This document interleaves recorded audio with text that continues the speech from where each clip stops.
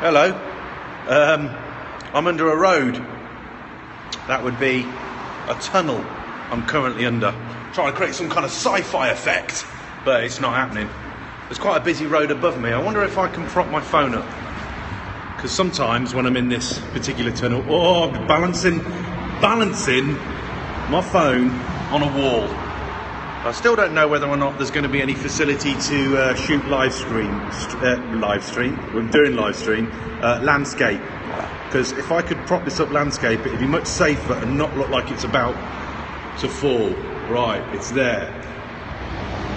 Sometimes I can see that the live stream keeps dropping out, but I am in a tunnel under a very metal road, so that's probably what's happening. I wanted to see what would happen if I live streamed underground uh, with very, very little signal as to whether or not it buffered like other live streaming apps like Bambuser do. So if you can see this, ah, thank you for the feedback, Craig. So when there's very, very little bandwidth, it looks like the pixelatedness will um, occur. So it's trickling out what it can. What does, what does it sound like? Is the sound constant when the pixels are coming?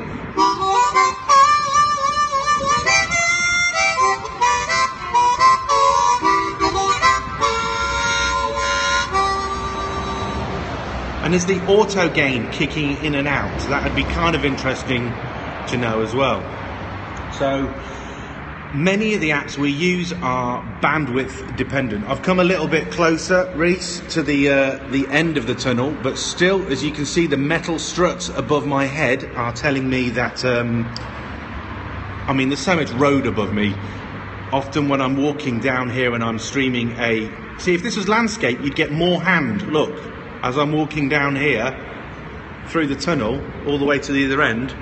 Um, phone calls drop out, uh, streaming podcasts drop out. This is the tunnel of doom. That's why I wanted to check whether or not I could stream from here. Let me know if you're going to Mojo. That's the Mobile Journalist Conference today. Dublin. It's not too late to pay and get your ass there as well. I think there's going to be some learning and some drinking, and there's some drinking and some learning. Right, that's all from me anyway. I've got to. Um, oh, it sounds great when streaming. Thank you very much. You should hear it in real life. It sounds a little bit out of tune.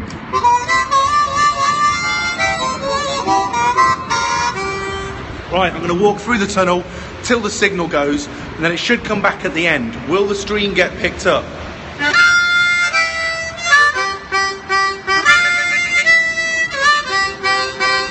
Love, love me do. Be surprised if anybody is there right now. Just a lot of pixels and craziness. But if I'm, yeah, I was lost again. But am I now found? Has the stream kicked back in? Now I'm at the other side of the tunnel. It's the only way to test low bandwidth. It's a sharp pick when there's no motion. Ah, okay. Obviously, because the amount of pixels that need to be made to make this the scene smooth. So, what about this? Pretty sharp. I'd love to hear people's comparisons between this and Meerkat.